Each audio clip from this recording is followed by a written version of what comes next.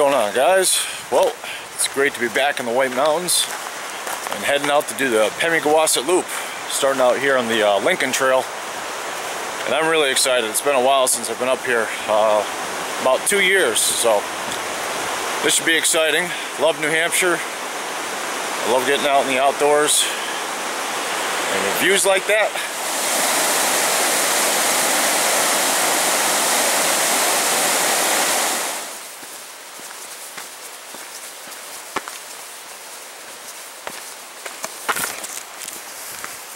Well, I've been hiking on the trail for a little while, and I did this trail, I think it was back in 2001, 2002, can't quite remember. Uh, so it's been a while.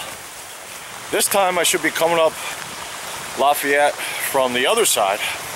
I'm inside this bowl here, and uh, should be some really nice views. Because if you watch any of my videos, I say that a lot. That's a really nice view. A lot of times when I go hiking, I don't bring a camera because it takes me a long time to film and I kind of stumble over my words a lot so you wouldn't believe the amount of editing that I do to get my videos to come out halfway decent.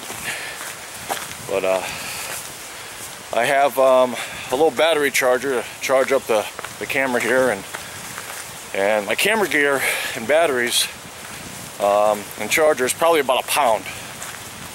So that's a lot of extra weight. I know, uh, what's one pound, but my uh, total pack weight today is 21 pounds. And uh, base pack weight's right around 10 pounds. And I'm carrying two liters of water which I normally don't do.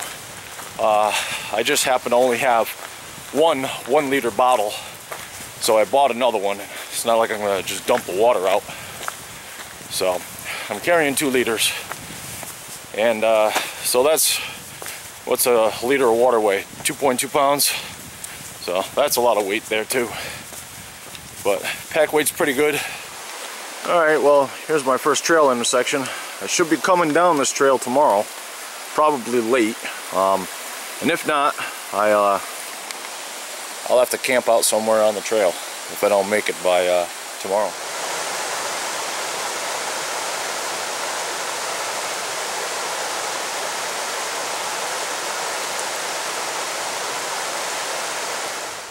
I'm carrying a 20 pound backpack. And some people are like oh you're, you know you're you're not bringing enough supplies or you know you, you don't have the, the right gear or you're going to be uncomfortable just to save weight. No I've uh, I've proven out my system and I've always been comfortable. The whole reason for me going hiking and backpacking is to be relaxed. I don't want to have to work harder um, necessarily or um, you know just overexert myself for no extra cause. Uh, because I, I've done a three-day backpacking trip on the Appalachian Trail with a 50-pound pack. And by the end of the day hiking, you are exhausted. In turn, that gives me the opportunity to go out in the woods and uh, maybe hike a few miles further where I wouldn't be able to. And by hiking that few extra miles, I might see something that I might not have seen.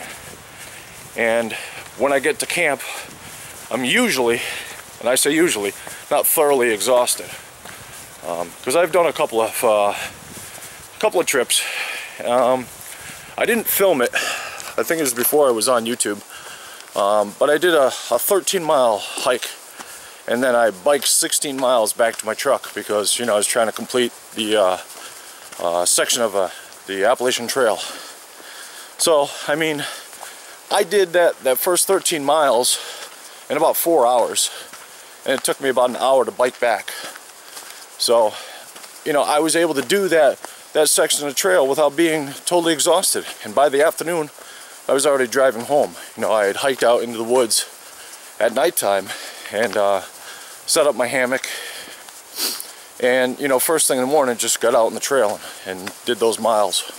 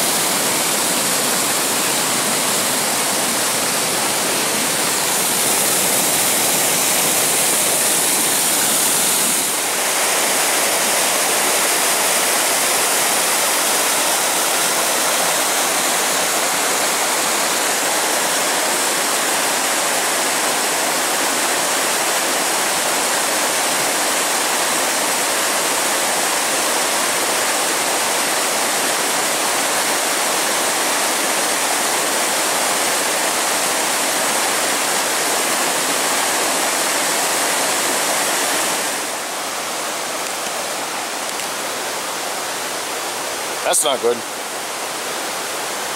I've only been hiking for an hour. And uh, the end of trail, probably gonna have to go back that way. Well, got a little turnaround. Not really. I wanted to see the falls anyway, but apparently the uh, trail to the falls is not the same trail that follows the uh, brook, or Franconia Falls Brook Trail, which I'm uh, hiking on. So, added probably about a, almost a mile to my trip, but that's alright because uh, those falls are pretty cool. Been to them once before, so but it's always nice to go back and see them again. So we'll just hike back to uh, little trail intersection back here and continue on our way.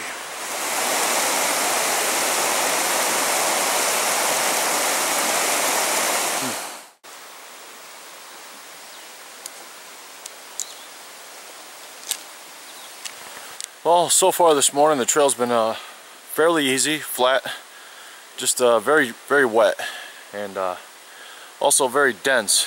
And just come around a corner and got this nice wide open spot here. It's pretty cool. Like I said, been pretty easy going this morning. I know today should be a fairly easy day, but tomorrow, tomorrow will be a, a good hike. Uh, I'm going to start up uh, Garfield and then to Lafayette. So, that should be pretty good. I'll tell you what, if anyone needs to find a sinkhole, come give me a call. Because it seems like every time I go out hiking, I find one. Well, just after uh, that little um, clearing there, I'm walking down this trail. The trail's getting tighter and tighter. And then I just step in this nasty mud.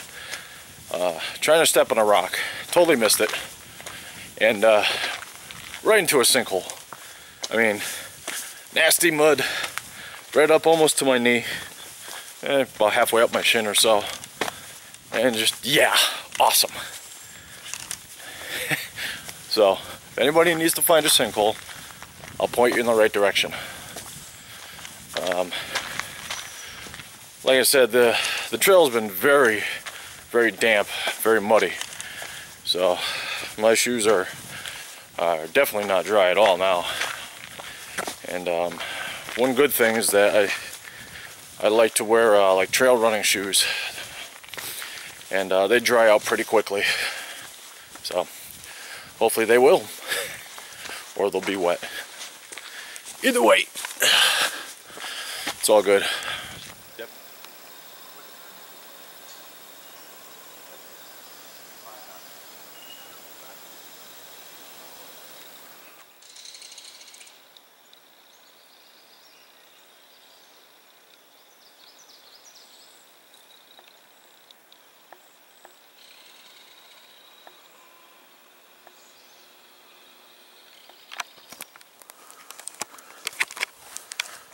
Not a bad view.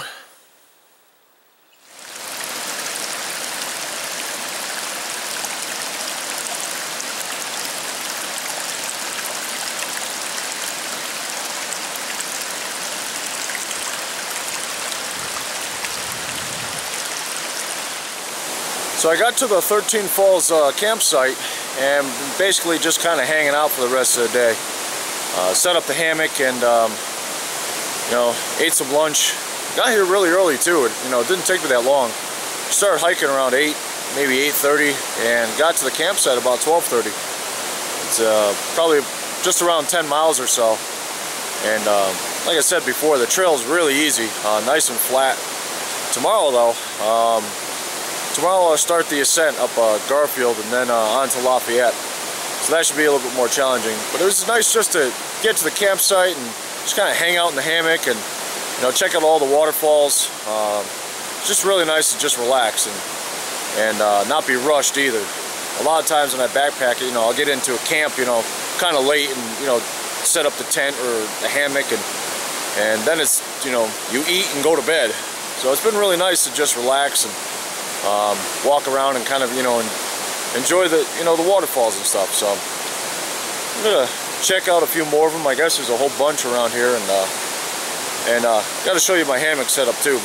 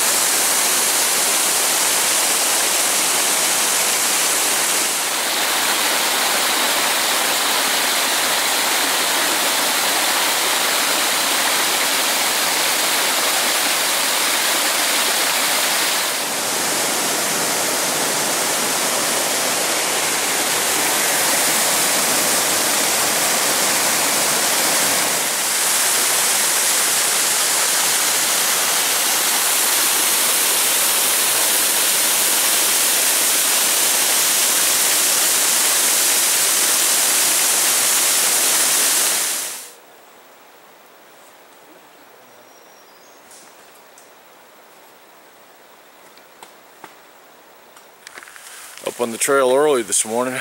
Got going probably just a little bit after 6. Got approximately 16 miles today, so gotta get an early start. And today will be much more difficult than yesterday. Seeing how I have to climb out of this bowl approximately 3,500 feet, maybe 4,000 feet. So this morning will be quite a workout. But the views should be definitely worth it. Alright, catch back with you in a little bit.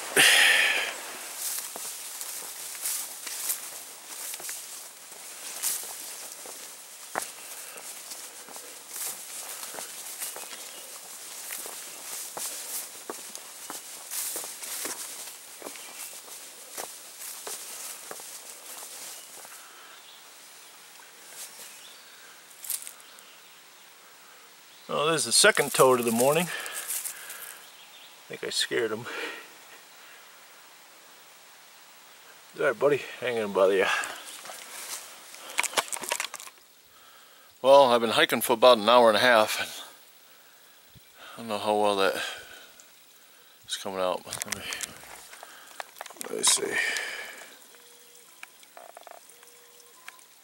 Alright, there's a couple of mountains back there. They look pretty cool. I don't think they're really showing up on camera too much, but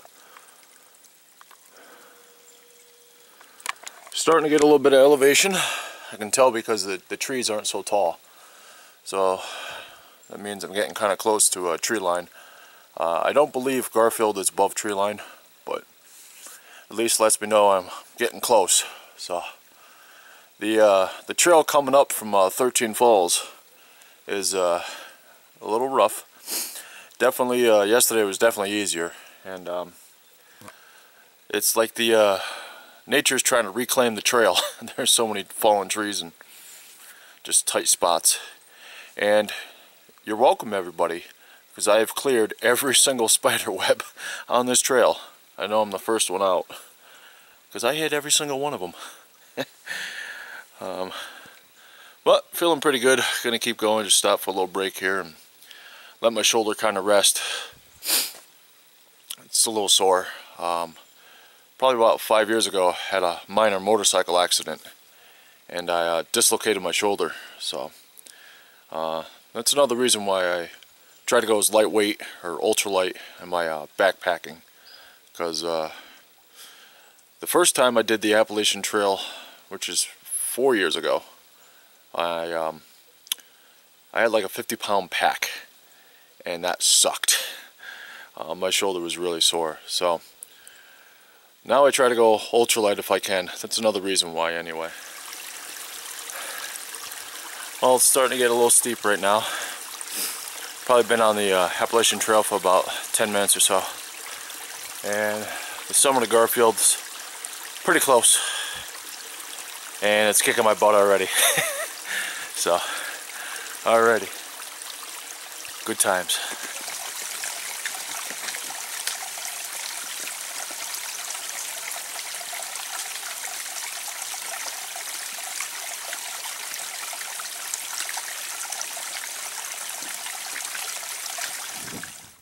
Alrighty, well I made it to the top of Mount Garfield and the views are pretty awesome. Looking over at Lafayette and, uh, then north Views are really nice. Just kind of sitting down right now because my knee's a little sore. And uh, just kind of taking it all in. Give you guys a nice shot of Mount Lafayette over there. Yeah, Little Haystack. The Flume, the Flume, Mount Liberty over there.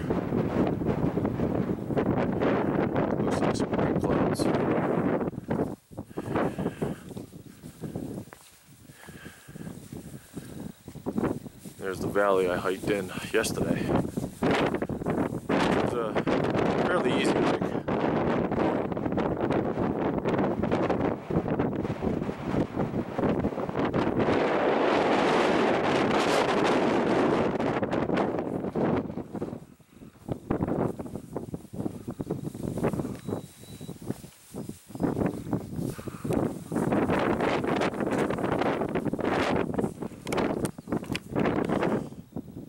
that right, that right there, Mount Lafayette, that's where I'm heading. So I'm uh, gonna get moving. It's about three and a half miles away. So we'll see how long it takes me to get there.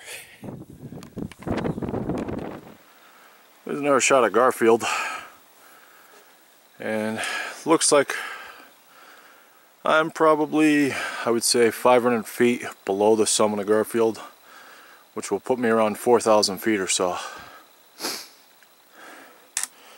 And the trail is really steep. That's why I'm breathing hard. But looks like it might level out up there.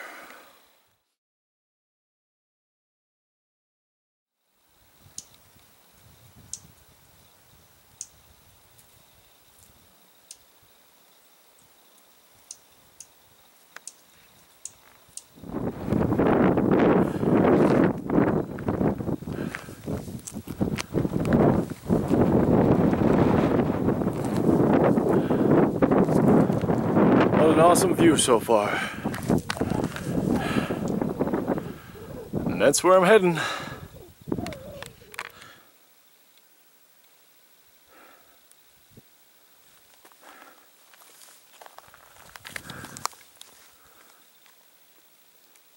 Still a little ways to go.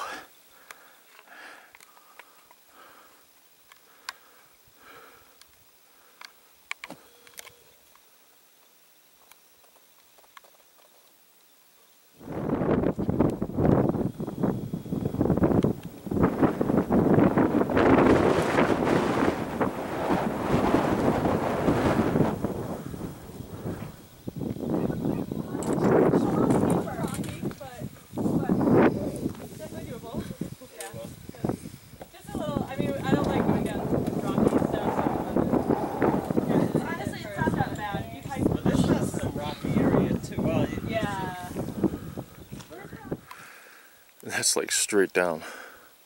That's crazy. Wow.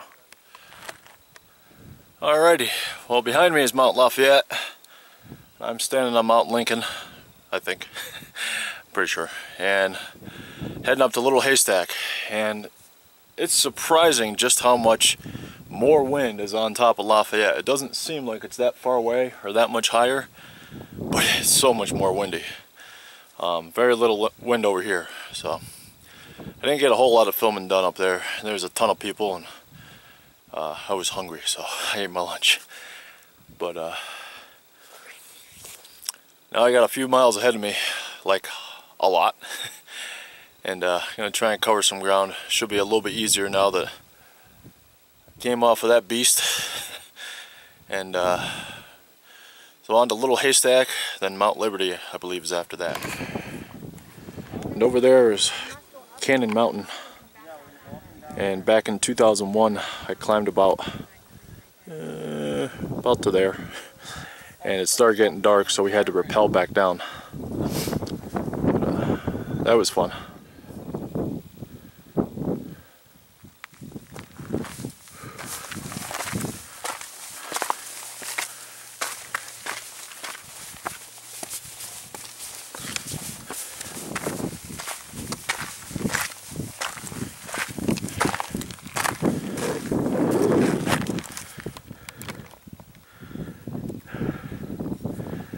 That mountain in the center there is Owl's Head. And when I hiked in yesterday, I hiked in on the other side of that. It seems so far away.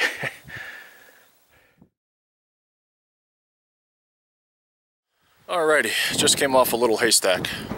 I'm not sure which mountain I was on before. I think it was Lincoln, but uh, there's a lot of little, little summits in between. So, now I'm off a little haystack. Oh man. Coming off a haystack there. Absolutely brutal on my knee. I uh, I tweaked it going up Garfield this morning. Don't know what I did. I didn't twist it. I didn't fall. But uh, it's killing me right now. And I'm not all the way off a haystack and I still got to go up Liberty and the flume. So. This sucks. It hurts. I took some Tylenol, so we'll see how that works out. Still a nice day to hike though.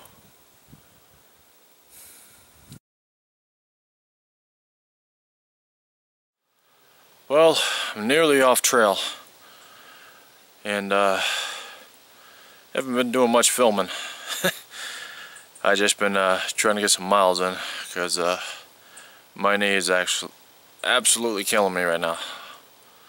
But I'm almost almost back to the truck, so whew, it's been a rough day, but a good day. Um, a lot of miles. I don't know exactly how many, but a lot. And uh, tough miles, so. Alrighty, I just want to say uh, thanks to all my subscribers. Uh, should be pretty close to about a thousand now, which is pretty surprising. So, um, thank you all, and uh, catch you on the next one.